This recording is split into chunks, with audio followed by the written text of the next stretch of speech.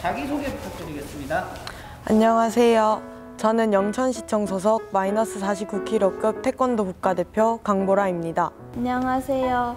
저는 영천시청 소속 마이너스 46kg급 태권도 국가대표 강미르입니다.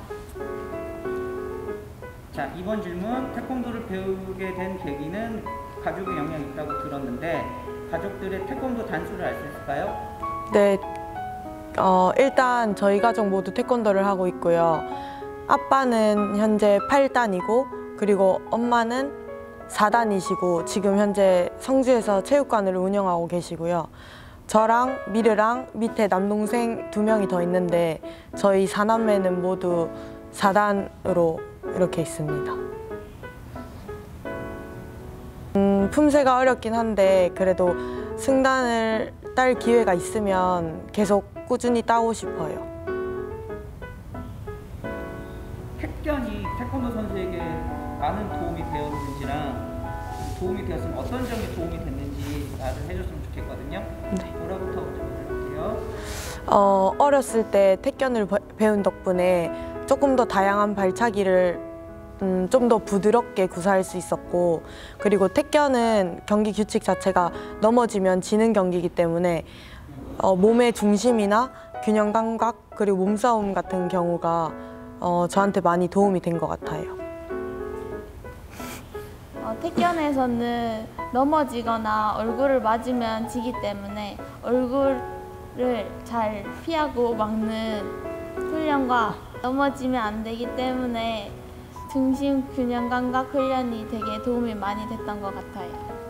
그 태권 보면서 옛날에 태권했던 모습이 어땠는지 생각하고 기억 좀 나요? 아 저희가 태권했던 거요? 태권했을 때 모습이 어땠는지 기억 좀 나요? 네, 태권했을 때는 다 기억나는데 그때 그 사람들 앞에서 그 태권 시범 보였을 때 기분이 어땠어요? 어, 근데 긴장은 되는데 그 보이고 나면 되게 뿌듯했던 것 같아요. 박수랑 이런 거 받으면은 되게 기분이 좋았어요. 그럼 미르 선수는 다시 요 태권 시범 보이려고 하면 보일 수 있어요? 네, 다시 연습 좀만 하면 되지 않을까요? 어렸을 때 했기 때문에. 그치. 지금은 지금 바로? 바로는 못할 것 같아요. 이렇게 대학이 아닌 실업팀을 택한 이유. 일단 좋은 대학을 가는 것도 저한테 되게 큰 도움이 될, 되겠지만 제 꿈이 일단은 이제 올림픽을 가고 싶은 게 제 꿈이기 때문에 실업팀에 오면 운동에 더 전념할 수 있을 것 같아서 실업팀을 선택하게 된 것 같아요. 그리고 동시에 돈도 벌 수 있어서 실업팀으로 더 확고하게 온 것 같아요. 저는 언니랑 아빠가 먼저 영천시청에 와 있어가지고 자연스럽게 오게 된 것 같아요. 근데 돈을 벌면서 운동할 수 있어서 선택 잘한 것 같아요. 일단 국가대표인데 국가대표로서의 자격과 어려운 거잖아. 마음가짐이 어떤 건지 말해줘요. 음, 일단 국가대표의 자격은 제 생각에는 올바른 생각과 행동 그리고 인품이 되게 중요한 것 같아요. 그리고 국가대표를 딱 단 순간 그리고 제 가슴에 태극 마크가 달리는 순간 일단 애국심이 엄청 생기거든요. 그래서 큰 선수일수록 인품이 가장 중요하다고 생각해요. 언니랑 똑같이 올바른 행동과 인성이 제일 중요하다고 생각하는데 항상 신경 쓰면서 노력, 좋은 선수, 좋은 모습 보여드리려고 노력하고 있어요. 인사를 잘하는 이유가 뭔가요? 어, 아빠한테 어렸을 때부터 제일 처음에 배운 게 예의 예절 그런 거부터 배워가지고 자연스럽게 몸에 배워서 그렇게 하게 된 것 같아요. 그러면 혹시 인사하는 사람들이 어떻게 되는 건가요? 경기장은? 어, 일단 상대 선수, 상대 코치님을 비롯해서 심판분들이랑 경기부 쪽 앉아 계시는 분들이랑 기자님들 보이면 그때 그렇게 인사를 다 제 경기에 집중해 주시는 그런 전부 모든 분들께 하는 인사를 드리려고 해요. 근데 왜 난 안 해줬어요? 죄송해요. 아니, 앞으로 자주 해주면 돼요. 네. 삼행시를 지어왔던데 삼행시 한번 얘기해 주겠어요? 강, 강림한 듯 내 동생으로 태어난 미, 미르 항상 앞으로도 르, 으뜸인 존재. 준비했죠? 네. 네이버에 찾아봤어요. 그럼 이 뜻이 뭐예요? 어떤가요? 어떤 뜻을 전하고 싶었던 겁니다.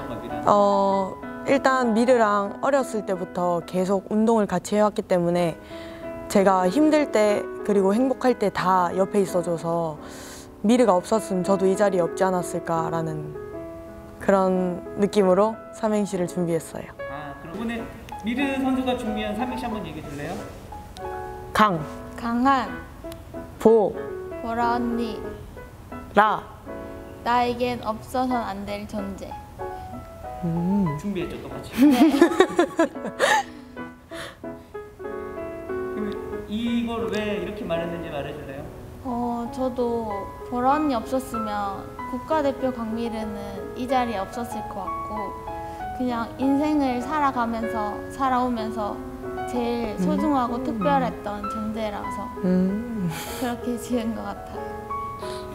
근데 여기서 보면 어, 한편은 되게 훌륭한 이렇게 좋은 파트너라고 그러는데 그 이유를 설명해 줄 수 있어요? 체급도 잘 맞고 어릴 때부터 그냥 둘이서 운동하기도 해서 잘 맞고 네 그래서 그런 것 같아요.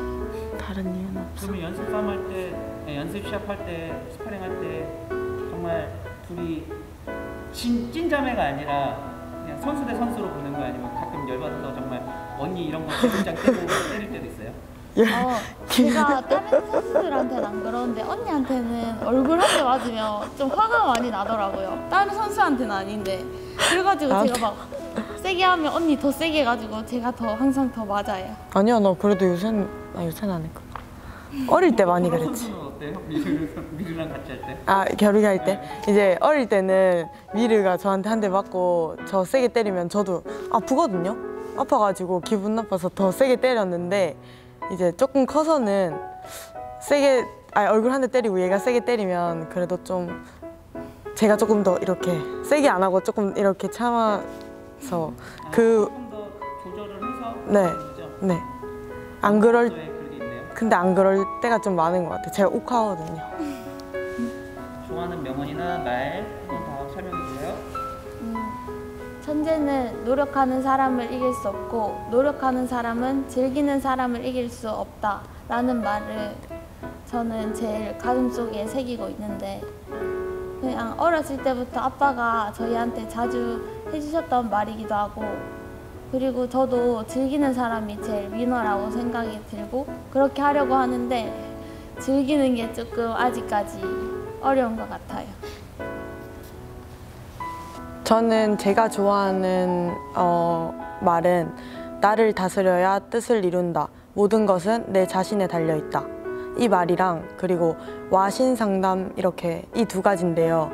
일단 첫 번째로 말씀드린 말은 일단 제 자신을 다스려야 모든 게 된다는 거에 저는 엄청나게 동의를 하고요. 아무리 제 몸이 조금 컨디션이 안 좋아도 제 멘탈이나 제가 저만 잘 다스리고 있으면 어, 몸이 아예 아주 좋았을 때보다 경기력이 더 잘 나오는 것 같고 그리고 두 번째로 말씀드렸던 거는 어, 제가 목표 이루고자 하는 목표가 있으면은 그 목표를 위해서 아무리 힘든 일이든 운동이라도 독하게 이겨내자라는 말로 이렇게 그래서 이 두 가지를 선택하게 됐습니다.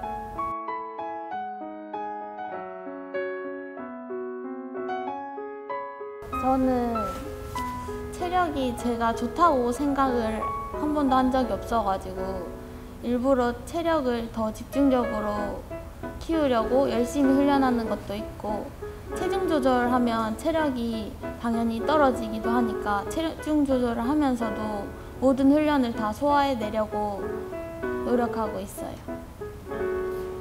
저는 영천시청의 감독님이랑 코치님들께서 체력적인 부분이랑 전술적인 부분 이 두 가지 다를 이제 체계적으로 잡아주시고 그리고 또 시합이 다가오면 실전처럼 전자호구랑 다 세팅하고 시합처럼 경기를 진행하고 하니까 이제 또 한 판만 하는 게 아니라 몇 판씩 연속으로 하기 때문에 그 부분에서도 체력이 되게 많이 올라온 것 같아요.